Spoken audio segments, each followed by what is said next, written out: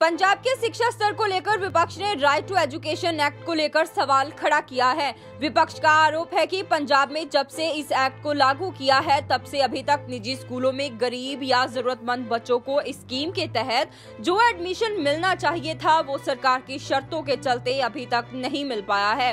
पंजाब सरकार ने शर्त रखी है कि पहले लाभपात्री को सरकारी स्कूल में एडमिशन लेनी होगी और वहां सीट ना मिली तो बच्चे निजी स्कूल में इस स्कीम का फायदा उठा सकते हैं ਆ ਸਾਰੇ ਸਾਡੇ ਹੱਥ ਵਿੱਚ ਡਾਕੂਮੈਂਟਸ ਨੇ ਜਿਹੜਾ ਕਿ ਇੱਕ ਗਵਰਨਮੈਂਟ ਆਫ ਇੰਡੀਆ ਨੇ ਰਾਈਟ ਟੂ ਐਜੂਕੇਸ਼ਨ ਐਕਟ ਜਿਹੜਾ ਅ, ਖਾਸ ਤੌਰ ਤੇ ਸਿੱਖਿਆ ਦੇ ਖੇਤਰ ਦੇ ਵਿੱਚ ਅ, ਲੋਕਾਂ ਨੂੰ ਬਰਾਬਰ ਦਾ ਪੜ੍ਹਨ ਦੇ ਮੌਕੇ ਦੇਣੇ ਉਹਨਾਂ ਵਾਸਤੇ ਅ, ਜੋ ਉਹਨਾਂ ਦੀਆਂ ਜੋ ਉਹਨਾਂ ਦਾ ਅਧਿਕਾਰ ਬਣਦਾ ਵਾ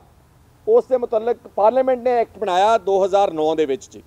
ਔਰ ਉਸ ਐਕਟ ਨੂੰ ਪੰਜਾਬ ਸਰਕਾਰ ਨੇ ਅਡਾਪਟ ਕੀਤਾ। Right to education act of 2009 ਭਾਵਾਂਗੇ ਇਹਨਾਂ ਨੇ ਥੋੜਾ ਲੇਟ ਅਡਾਪਟ ਕੀਤਾ, ਲੇਕਿਨ ਇਸ ਨੂੰ ਅਡਾਪਟ ਕਰ ਦਿੱਤਾ ਗਿਆ 2011 ਚ। ਇਹਦੇ ਚ ਇੱਕ ਵਿਸ਼ੇਸ਼ ਕਲੌਜ਼ ਹੈ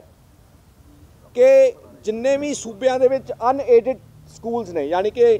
ਪ੍ਰਾਈਵੇਟ ਸਕੂਲਸ ਨੇ, ਜਿਨ੍ਹਾਂ ਪ੍ਰਾਈਵੇਟ ਸਕੂਲਸ ਦੀ ਗਿਣਤੀ ਲਗਭਗ ਪੰਜਾਬ ਦੇ ਵਿੱਚ 9500 ਹੈ ਉਹ 9500 ਸਕੂਲ ਜਿਹੜਾ ਪ੍ਰਾਈਵੇਟ ਸੈਕਟਰ ਵਿੱਚ ਕੰਮ ਕਰ ਰਿਹਾ, ਹਰ ਸਕੂਲ ਦੇ ਵਿੱਚ, ਹਰ ਕਲਾਸ ਵਿੱਚ ਚੌਥਾ ਹਿੱਸਾ ਸੀਟਸ ਮਿਨੀਮਮ 25% ਰਾਖਵਾਂ ਕਰਨ ਪ੍ਰਾਈਵੇਟ ਸਕੂਲਾਂ 'ਚ ਕਹਿ ਰਿਹਾ। ਉਹ ਗਰੀਬ ਬੱਚਿਆਂ ਵਾਸਤੇ, ਰੱਖਣ ਵਾਸਤੇ ਐਕਟ ਵਿੱਚ ਪ੍ਰੋਵੀਜ਼ਨ ਹੈ। ਗਰੀਬ ਗਰੀਬ ਦੀ ਪਰਿਭਾਸ਼ਾ ਤੁਸੀਂ ਸਾਰੇ ਜਾਣਦੇ ਹੋ ਇਕਨੋਮਿਕਲੀ ਵੀਕਰ ਸੈਕਸ਼ਨਸ ਜਿਹਦੇ ਵਿੱਚ ਖਾਸ ਤੌਰ ਤੇ ਸ਼ਡਿਊਲ ਕਾਸਟ ਬੱਚੇ ਨੇ, ਦਲਿਤਾਂ ਦੇ ਬੱਚੇ ਨੇ ਬੈਕਵਰਡ ਕਲਾਸਿਸ ਦੇ ਬੱਚੇ ਨੇ। ਸ਼ਡਿਊਲ ਟ੍ਰਾਈਬਸ ਦੇ ਬੱਚੇ ਨੇ। ਕੋਈ ਬੱਚਾ ਅੰਗਹੀਨ ਹੈ ਡਿਸੇਬਲਡ ਹੈ, ਗਰੀਬ ਹੈ ਘਰੋਂ,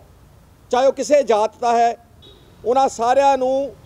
ਸਿੱਖਿਆ ਦਾ ਖਰਚਾ ਜਿਹੜਾ ਸੀਗਾ ਉਹ ਕੇਂਦਰ ਦੀ ਸਰਕਾਰ ਨੇ ਦੇਣਾ ਸੀਗਾ। ਲੇਕਿਨ ਅੱਜ ਤੱਕ 8 ਐਕੈਡੈਮਿਕ ਇਅਰਸ ਲੰਘ ਚੁੱਕੇ ਨੇ। ਨੌਵਾਂ ਐਕੈਡੈਮਿਕ ਇਅਰ ਸਟਾਰਟ ਹੋਇਆ, ਲੇਕਿਨ ਪੰਜਾਬ ਦੇ ਵਿੱਚ ਗਵਰਨਮੈਂਟ ਆਫ ਇੰਡੀਆ ਦੇ ਲਾਗੂ ਕੀਤੇ ਐਕਟ ਨੂੰ, ਪੰਜਾਬ ਦੇ ਵਿੱਚ ਇੱਕ ਵੀ ਬੱਚੇ ਨੂੰ ਅੱਜ ਤੱਕ ਅਨਏਡਡ ਪ੍ਰਾਈਵੇਟ ਸਕੂਲਸ ਦੇ ਵਿੱਚ ਐਡਮਿਸ਼ਨ ਨਹੀਂ ਦਿੱਤੀ ਗਈ ਗਰੀਬਾਂ ਨੂੰ ਉਹਨਾਂ ਦੇ ਅਧਿਕਾਰ ਨਹੀਂ ਦੱਸੇ ਗਏ ਉਹਨਾਂ ਨੂੰ ਵਾਂਝੇ ਰੱਖਿਆ ਗਿਆ ਉਹਨਾਂ ਨੂੰ ਨੇਰੇ 'ਚ ਰੱਖਿਆ ਗਿਆ unfortunately the government has failed this has been brought out by controller auditor general of punjab and this this report has also been tabled in the punjab vidhan sabha so ਮੈਨੂੰ ਬੜੇ ਦੁੱਖ ਨਾਲ ਕਹਿਣਾ ਪੈਂਦਾ ਔਰ ਅਸੀਂ ਇਸ ਮੁੱਦੇ ਨੂੰ